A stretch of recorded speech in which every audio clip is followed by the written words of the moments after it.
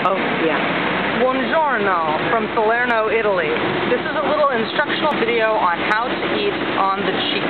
What we've done is we stopped at the shop and got some pane cotto nel forno a legna, which is bread cooked Half in a wood already. Uh, bread cooked in a wood-fired oven. We've already eaten half of it. This was melanzana parmigiana, uh, eggplant parmesan, and peperonata, which is roasted peppers with garlic and fabulous yumminess.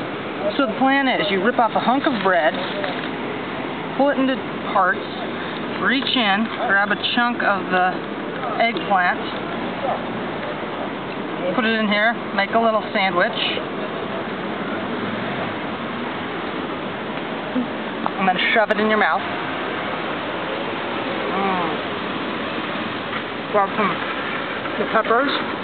Uh, it's best if you travel with silverware, which we have not done, but that's alright. So this is how you eat on the cheap. All of this for two people, 13 euro.